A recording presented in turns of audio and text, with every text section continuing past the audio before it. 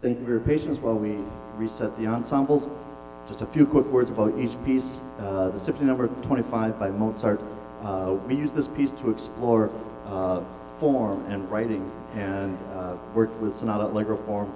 Uh, students found uh, first and second themes, development, recapitulation, and, and then we applied that to a piece that, that they weren't studying to see if they could pick those things out. Um, it's standard orchestral rep, uh, non-arrangement, and very fiery.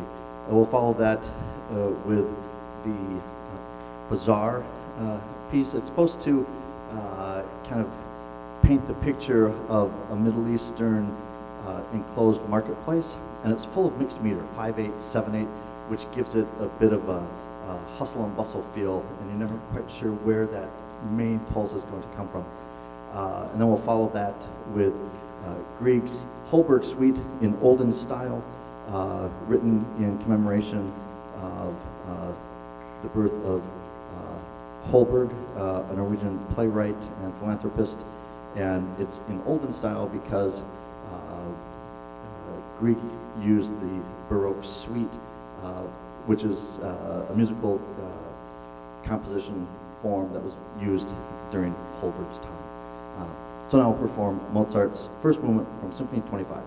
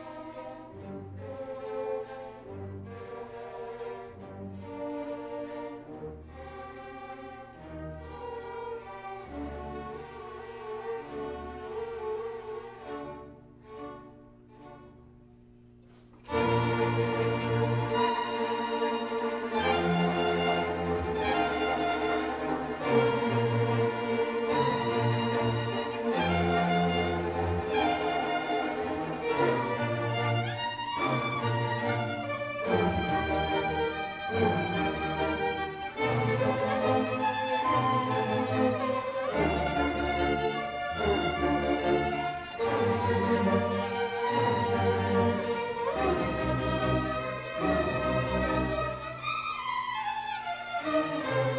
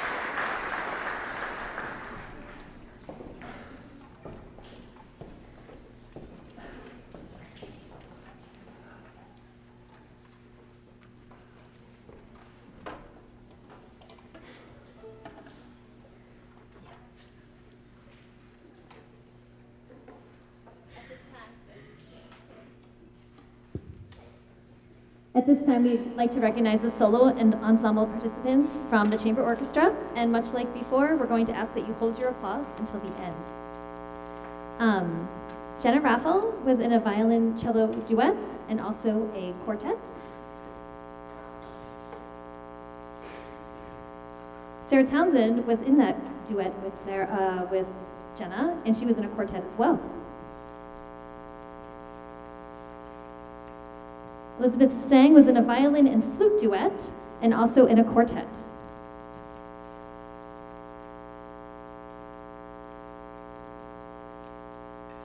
Kelsey Hilgart played a Class A viola duet.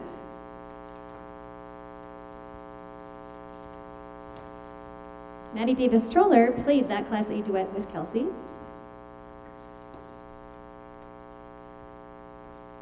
Eddie Gnuich played a Class A viola cello duet and also a Class A cello solo.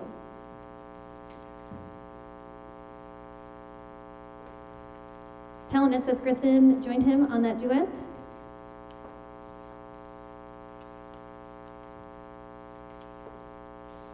Jeff Bailey participated as a bass viola duet and also as a bass soloist.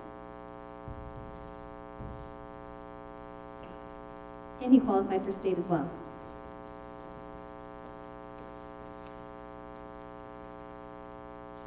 Kylie Cook played a Class A viola solo and also participated in a Class A viola ensemble.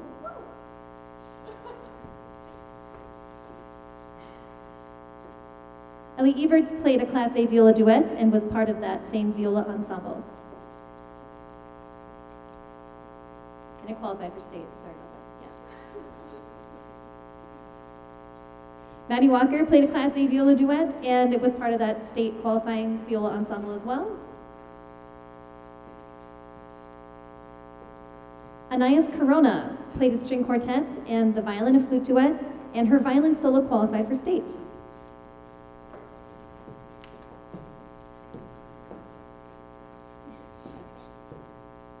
Anita Nangdet played a Class A violin duet, viola violin duet, and a violin solo that all qualified for state.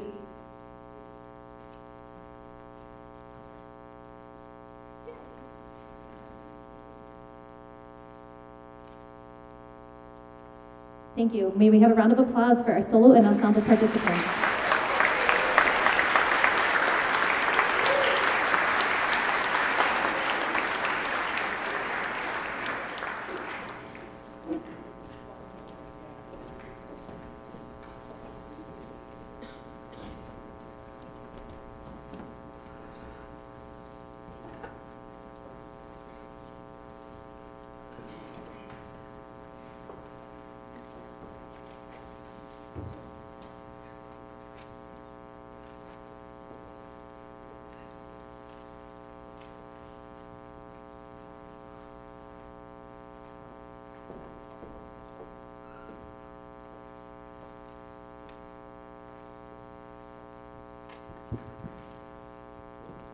Take just uh, another couple minutes and recognize all of our seniors.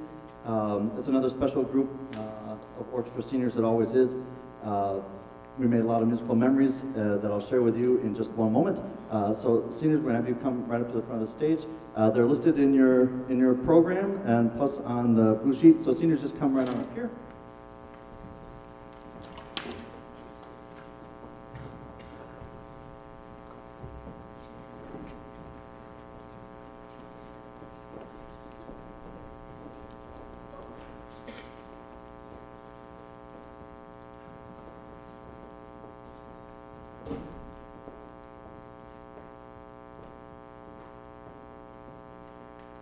Yeah, uh, again, another, another uh, very special group. Um, and like I said, uh, we made a lot of musical memories uh, that included uh, the pajama concert. I don't remember what year that was, but uh, one of the pieces we did was Teddy Bear Picnic.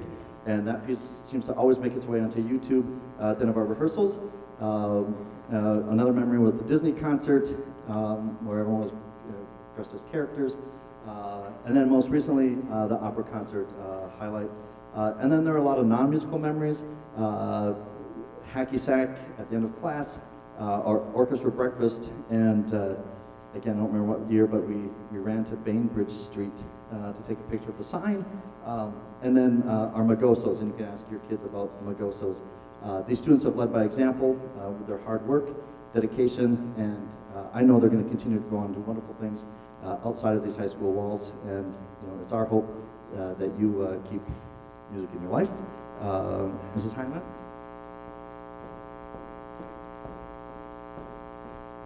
So, um, recently in my violin case, I found a card that was given to me. Um, it was actually from Mr. Davick, and he gave it to me in the spring of 2016. And it was it wasn't a congratulations on the new job card. I was teaching choir at the time. It was a uh, welcome to your new home card. And I thought that was funny and sweet, and oh, okay, that's cute. Okay, it's going to be my new home. I'm going to teach orchestra now. And I spent the whole summer being super nervous. and um, then September of 2016, when this group was sophomores and uh, the people behind me were freshmen, I realized this is the group that made me feel at home. So thank you, seniors. And we have uh, something for you. Round of applause for them.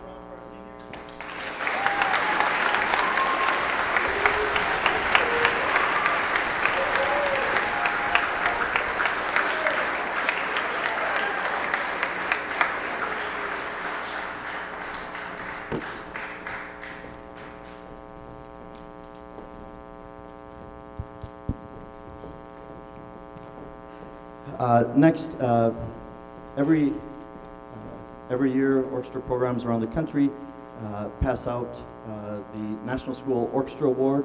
Um, it's an award that is given to uh, a senior, uh, four-year member of the orchestra. Um, and uh, the criteria reads like this. Uh, in recognition of singular merit and outstanding contributions to the success of the school orchestra, for displaying an unusual degree of loyalty and cooperation, and for exemplifying that high standard of conduct that is the aim of the school instrumental program. And uh, again, that describes so many of our students up here. Um, uh, it's a, an award that the students vote on, and this year's recipient uh, of the National School Orchestra Award is Anita Ananda.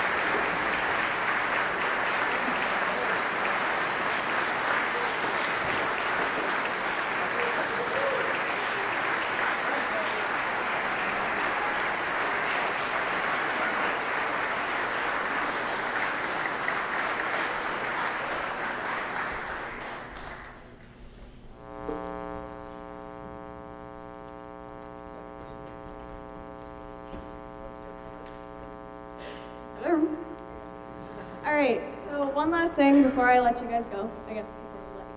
Um, we always have a tradition of getting Mr. Davick and Ms. Heineman a couple gifts. So we're gonna start with, we always put our senior pictures on a poster for Mr. Davick and Ms. Heineman. So here's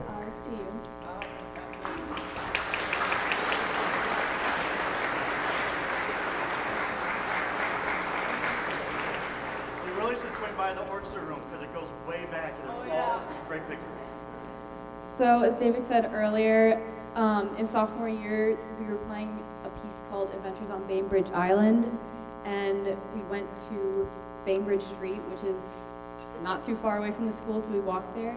So, we framed the picture we took underneath Bainbridge Street, and we made a little Bainbridge sign and had all the seniors sign it.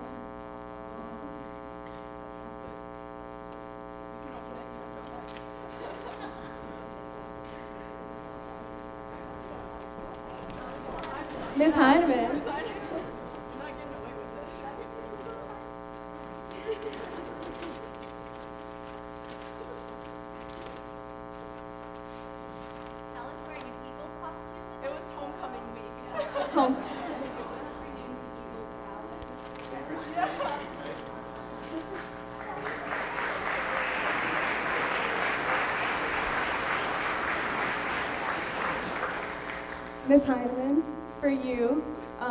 How busy and crazy your schedule is, so we got you some essential oils to help you de-stress. Okay, Mr. Davick. So, Mr. Davick has this little game he plays with um, passes when someone comes in late. So he always crumbles it up and aims it for the garbage can.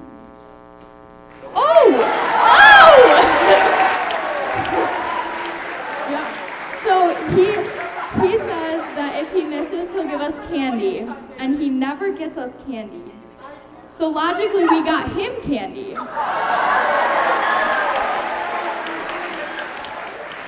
So since you made both of those, you can have this full of candy. Okay, and our last thing is also for Mr. Davick. As he mentioned earlier, we have been playing hacky sack, and we do that during breaks when he remembers to give us a break. um, and we've been doing that for- since like about sophomore year, and at the end of sophomore year, he decided to join in on our little hacky sack game. And we realized that he was a pro at hacky sack. Like, he is so good. It's crazy. So now he plays with us uh, most of the time. So we got him a little hacky sack um, to hopefully remember our tradition and also maybe bring it on with the underclassmen. Oh yeah, it's embroidered with MG. MGO. MGO. MGO.